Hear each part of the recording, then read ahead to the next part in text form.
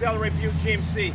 I want to introduce you to the two vehicles that we have here. I have a 2014 GMC Sierra, Sierra SLT, and I have also a 2017 GMC uh, Sierra Denali. The two difference between two vehicles uh, with engine size, pretty much equipped with the same stuff inside, heated cooled seats, uh, nice wheels. You can see the difference in the Denali grill and the SLT grill.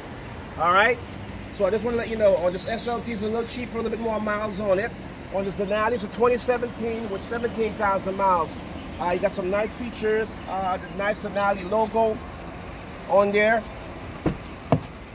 Okay, you have a leather seat, power windows, power locks, the 8-inch entertainment screen. Uh, this vehicle also equipped with a sunroof. Okay, 17,000 miles on here, 5.3 liter. You have the power, split mirror, split window in the back. And also you do have the uh, easy step. Both trucks has the same stuff on there. And also you have the backup camera. And you can come down, you can take a look and you can see. And I just want to introduce you and tell you what's going on with both vehicles. And uh, on the red one, you can see the nice wheels on the SLT.